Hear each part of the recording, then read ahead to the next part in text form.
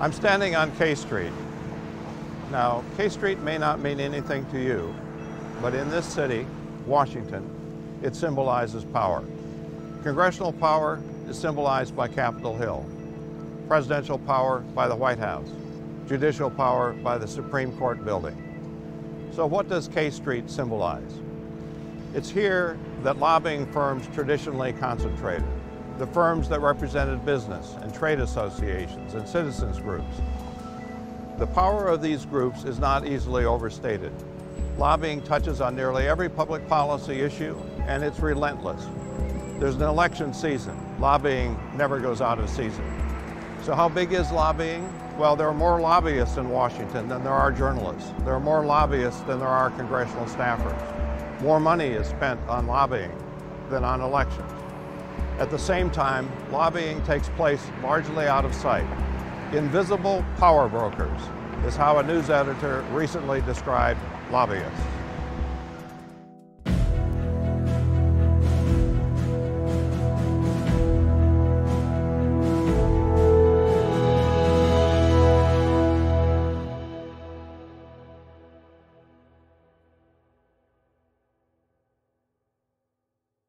This session will look at the political role of interest groups, or as they're also called, pressure groups, lobbying groups, and special interests.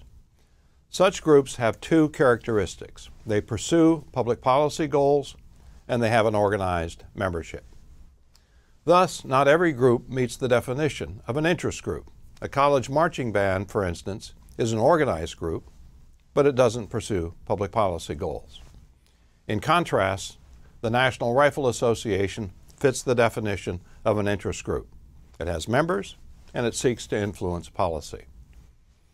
In this session, we'll explain why the United States has an abnormally large interest group sector. Then we'll explore why some U.S. interests are more fully organized than others. Then we'll examine the ways in which groups lobby for influence over policy.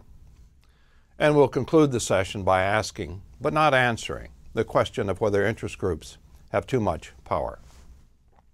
Now, a striking feature of American politics is the great number of its interest groups. The number is so large that no one has a firm estimate, but scholars concede that the number exceeds that of other countries. Now, why is that? Here are two of the reasons. Which do you think is the more important one? The country's great size or the structure of the U.S. political system? Well, America's great size helps to explain its abundant groups, but size is not quite as important as it might appear. France, for example, has only a fifth as many people of the United States and occupies an area roughly the size of the New England states. Yet, France is large enough that nearly every interest found in the U.S. can also be found there, whether it's types of farmers or types of small businesses. Nevertheless, France's interests are much less organized than those in America. The second factor, the structure of the U.S. political system, is the key to understanding why America has so many interest groups. Because of the separation of powers, groups at the national level have three branches to target. And one of them, Congress, offers two inviting targets, the House and the Senate. Each of these chambers has 20 standing committees to target, and nearly all of them have several subcommittees, another set of targets. Each member of Congress, all 535, is also a target of lobbying. Under congressional rules, each member has the power to propose legislation. And that's just the national government. Because the United States is a federal system, the state governments are power centers in their own right. Each of them is an inviting target, with their three branches of government and scores of legislative committees and state agencies. Below the state governments in the United States are the local ones, with their mayors and city councils, which by tradition have a lot of policy-making authority. Now compare the American system with the parliamentary government in a unitary system such as France. There, national political power is concentrated at the top in the hands of a relatively small number of policymakers, who even have a major say in the policies of provincial and local governments there aren't nearly as many opportunities for group influence in France. The point is this if there is such a thing as interest group heaven, the United States is it. It offers countless points of access for groups. That gives interests a reason to organize themselves. The possibility to make a difference are nearly endless. Now, America's large number of interest groups doesn't necessarily mean that the country's interests are all equally well organized. Organizations develop when people with a shared interest have the resources and an incentive to work together.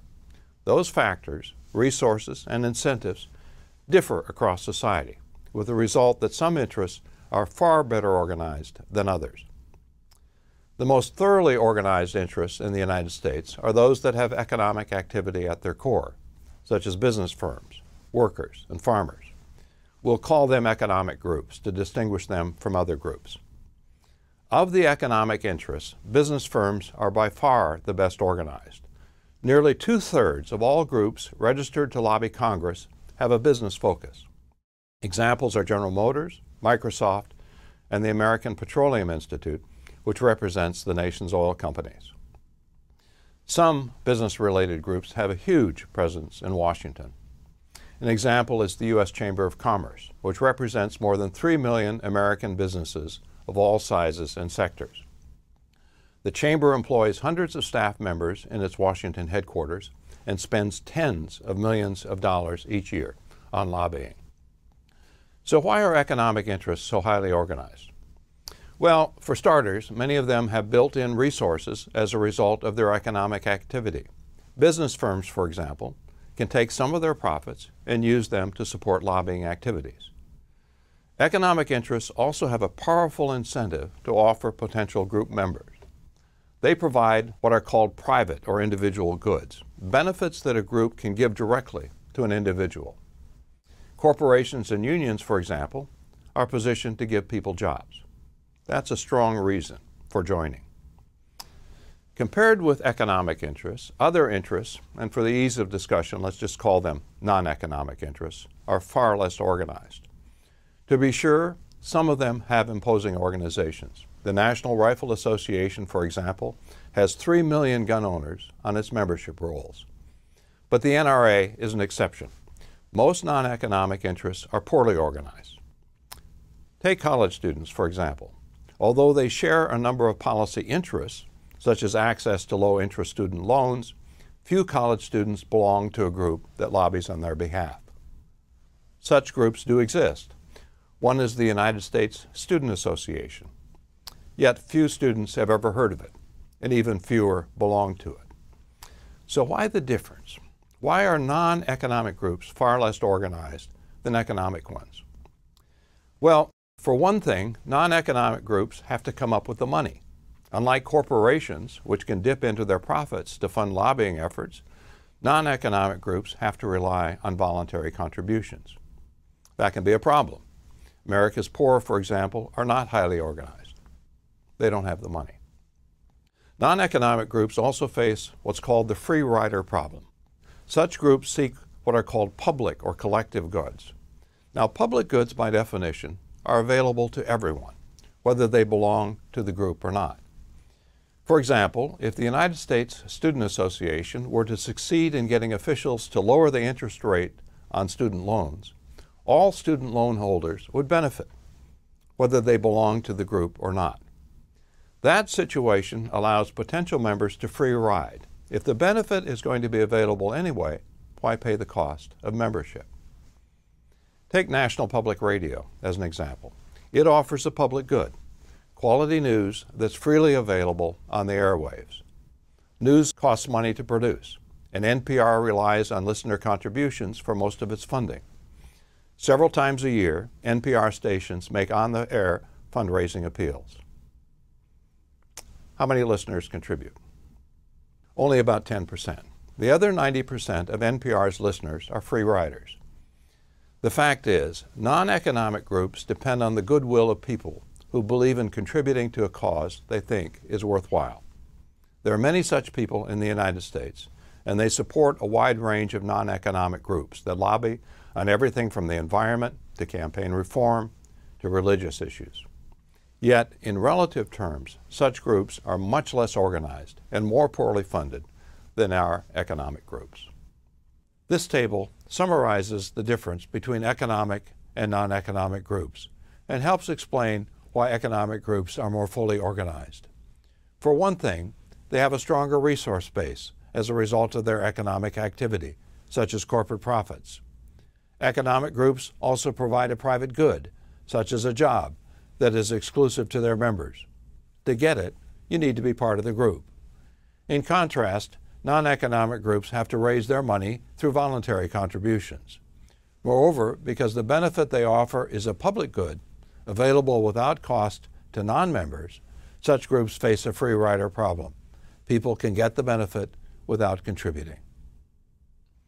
Now, as I mentioned previously, the structure of the U.S. political system is as close to heaven as an interest group can get. There are countless entry points where groups can try to influence policy. At the national level, groups concentrate most of their efforts on Congress and the executive agencies. Lobbying also takes place through the White House and the courts, but these institutions are less accessible to lobbying groups. Congress is a particularly inviting target, with its two chambers and its 40 standing committees, plus their roughly 200 subcommittees. Money is a key part of congressional lobbying. Not in the form of outright bribes. Congress is relatively free of that form of corruption. Every once in a while, a member of Congress takes a bribe, but it's risky. In 2005, Louisiana Congressman William Jefferson was arrested and later imprisoned after FBI agents found $90,000 in a freezer in his congressional office. He had taken a bribe. On the other hand, there is a type of money that members of Congress can legally take from groups. It's campaign funds, and groups are more than happy to oblige, knowing that such contributions will give them a better chance of getting a lawmaker's attention. As one lobbyist said, talking to politicians is fine, but with a little money, they hear you better. Most group contributions occur through political action committees, PACs for short. A group cannot give organizational funds, such as corporate profits or union dues, directly to a candidate. But a group can create a PAC to solicit voluntary contributions from its members, which can then be given to candidates. 10,000 is the maximum amount a PAC can contribute to a candidate. $5,000 for the primary, $5,000 for the general election. About 4,000 groups have PACs, which collectively provide about a fourth of what congressional candidates spend on their campaigns. More than two thirds of this PAC money comes from business related PACs, such as Coca Cola PAC and RPAC, which is the PAC of the National Association of Realtors. In the most recent congressional campaign, RPAC spent more than $3 million. Now, PACs are strategic in their contributions. More than 85% of PAC money goes to incumbents, a recognition by groups that incumbents typically get reelected. PACs are particularly inclined to fund incumbents who sit on the committees that deal with policies affecting the PAC. They're the ones most likely to have influence over the issues of interest to the PAC. Now, although groups spend heavily on campaigns, they spend even more heavily on lobbying. During the most recent two year congressional cycle, groups spent roughly $6 billion on lobbying, four times what they spent on the most recent congressional election. In lobbying Congress, groups typically work with lawmakers who share their policy goals. They understand that it's hard to get opposing lawmakers to switch sides.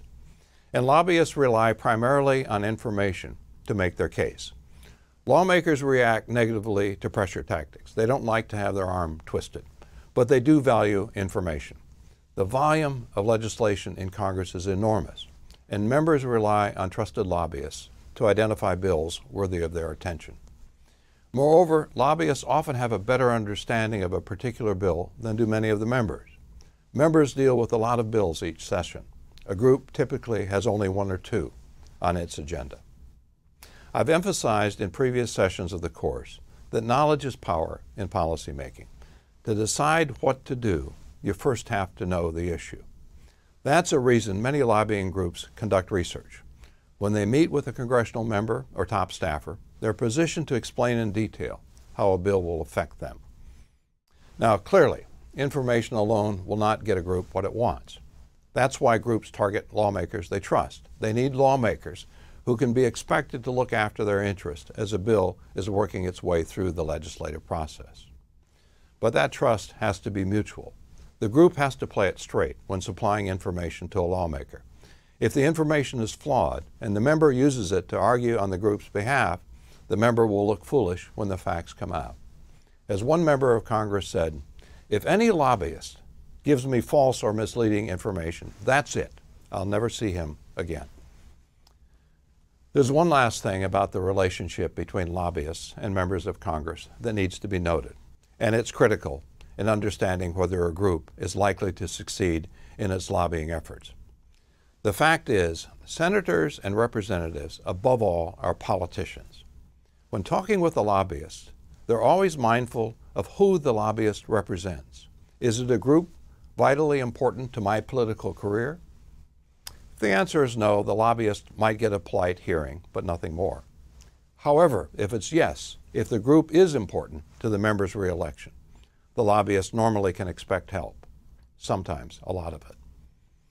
Now, executive agencies offer nearly as inviting a target for lobbyists as does Congress. There are several hundred such agencies, and they have influence over how legislation will be interpreted and implemented. Agencies are also a source of policy ideas that later make their way into law. Like members of Congress, bureaucrats depend on lobbying groups for information. Although top administrators are well versed on their agency's policies, they don't necessarily have detailed knowledge of how a policy could affect a particular group. Lobbyists help fill in that knowledge gap.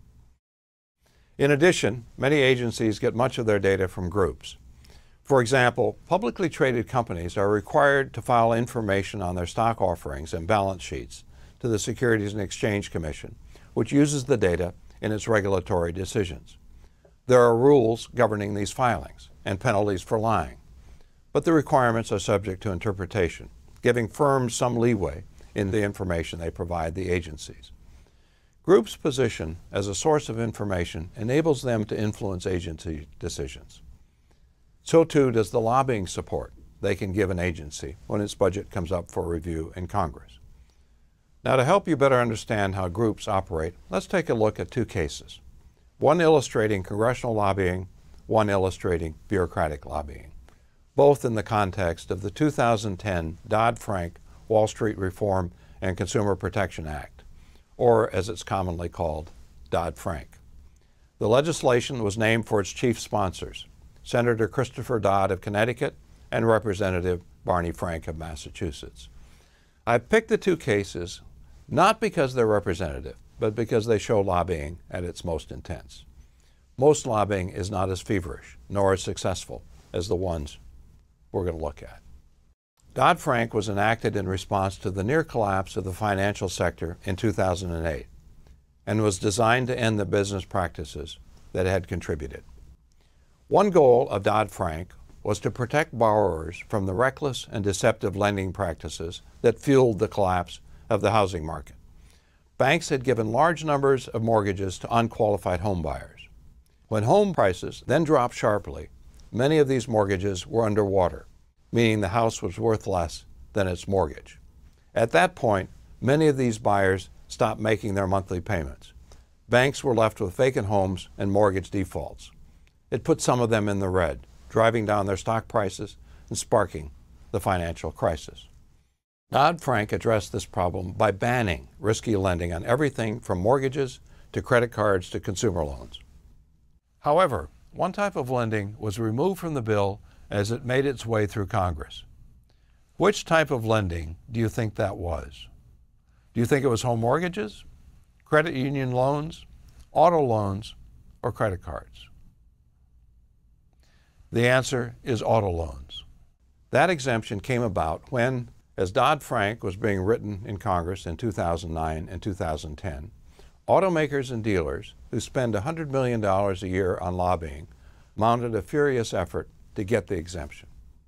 Why did they succeed? Well, they based their case for an exemption on information showing that auto loans do not pose anywhere near the same risk to the economy as do mortgages. Failed mortgages are one thing, repossessed cars another. The used car market operates more efficiently than does the market for vacant homes. Yet, if that argument was all that the auto industry had to offer, it's doubtful that it would have received the exemption. The auto industry also had something else to offer. There are auto and auto supply plants in every state and nearly every congressional district. And auto dealers are prominent local business leaders, as well as heavy campaign contributors. During the debate over Dodd Frank, more than 500 auto industry lobbyists went to Capitol Hill, about one lobbyist per member of Congress, to remind lawmakers of the importance of car sales to their districts and states. It made the difference. The auto industry got its exemption. Now let's shift to the case illustrating agency lobbying. It involves another goal of Dodd Frank the regulation of derivatives. A derivative is a security whose price depends on the assets it contains. Mortgage backed derivatives were a leading cause of the financial meltdown in 2008. Risky and non risky mortgages had been bundled together as derivatives and sold to investors, often with the claim that they had a AAA rating, the highest and safest level for an investor. The mortgage derivatives commanded a high price, and financial institutions made billions of dollars from them. When the housing market collapsed, it was soon apparent that the derivatives were worth much less than what had been claimed. Yet it was difficult to determine their value because good and bad mortgages together had been bundled. Uncertainty about their value made it hard for those holding the derivatives to sell them. Who would buy something of unknown value? Dodd Frank sought to rein in derivatives, subjecting them to regulation in much the way that stocks and bonds are regulated. Financial institutions didn't like the idea that a profitable item would be subject to closer scrutiny, and they lobbied Congress to remove the regulation of derivatives from Dodd Frank. Their lobbying effort was based in part on research indicating that some types of derivatives were actually easy for the markets to price. They also produced information showing that the proposed regulations would weaken their trading position relative to foreign competitors. Through its lobbying effort in Congress, the financial sector succeeded in watering down some of Dodd Frank's provisions, but not to the degree it wanted. As a result, after the bill was passed through Congress, the sector's lobbyists turned their aim on the executive agencies that would implement Dodd Frank, seeking to get them to further weaken the regulations. That effort is still going on, and some of it has spilled into the courts, so it's impossible to say just how fully successful the lobbying effort has been. But a recent assessment by a nonpartisan, nonprofit group concluded that the financial industry got most of what it wanted from the federal agencies. But even if that's not the case, the industry certainly got a full hearing from the agencies. According to a study by the Sunlight Foundation, federal regulators in charge of implementing Dodd Frank met 14 times more often with bank lobbyists than they did with consumer lobbyists. Lobbyists for Goldman Sachs alone attended 222 meetings with regulators, almost as many meetings as regulators granted to all consumer groups combined. Okay, let's step back from the two cases. Think about the influence of interest groups in a broader context. For starters, no one questions the right of or even the need for groups to speak out on policy issues affecting them. It's entirely appropriate for groups, whether they be automakers, banks, consumers, farmers, college students, to advocate on their own behalf. But that's not simply because Americans have a right to free association and expression. The fact is, society as a whole has a stake in the well being of its separate interests. Where would we be without a healthy banking, or food, or construction, or higher education sector? Society is not like a large ball. It's made up of constituent parts that are linked together, the health of one affecting the health of the others. For this reason, scholars of the pluralist school of thought prefer to think of the public interest as a question of whether a large number of groups, distributed across a wide range of society, benefit from group activity. If they do, pluralists say, the group system contributes to the public good. Yet one can reasonably ask whether some groups have too much power in the United States. If a group routinely gets its way at a cost to the rest of society, the interests of the majority are brushed aside. That situation is not easy to reconcile with democratic theory, which emphasizes government by the majority, rather than by well placed interest groups. That concern, however, cannot be addressed in isolation. The group system is only one of the ways that policy benefits in America are distributed. The party system is another way, and it operates differently. If lower income Americans are disadvantaged by the group system, which they are, they do number in the millions, and their votes can affect a political party's electoral fortunes, which also affects public policy. Business interests might get tax breaks through the group system, but lower income Americans get government assistance programs through the party system. We saw that in the 1930s, for example, with passage of Social Security. It was not that retirees were an organized group, there, the Democratic Party, under Franklin D. Roosevelt, responded to their interests. My point is that the group system, though biased in favor of business and upper class interests, is only part of the answer to the question of who governs America. Other parts of that answer are explored in other sessions of the course. Okay, let's wrap up what we've said about interest groups. We noted at the outset that the United States has an unusually large number of interest groups which we attributed primarily to the division of power between the branches and levels of government. This division created multiple power centers that groups can target in their effort to influence policy. Congress alone is a ripe target, with its two houses, its numerous committees and subcommittees, and its 535 members, all of whom have the power to introduce legislation. We then explored why some U.S. interests are more fully organized than others, noting that interests differ in their resources and in the incentives they can offer potential members. Because of their profits and their individual incentives, such as jobs, economic groups find it relatively easy to organize and engage in lobbying. In contrast, non economic interests have to rely on voluntary donations to support their lobbying efforts. They also face a free rider problem in that they pursue public or collective goods, which are goods that are available to non members as well as group members. Individuals may choose to free ride, getting the benefits of the group effort without contributing to it. For such reasons, non economic interests are less thoroughly organized than our economic interests. We then turn to the ways in which groups lobby for influence pointing out that they typically work with trusted lawmakers and rely on information to make their policy arguments. Campaign contributions and the promise of voter support are also part of lobbying. We ended the session by asking whether groups have too much power in the American system.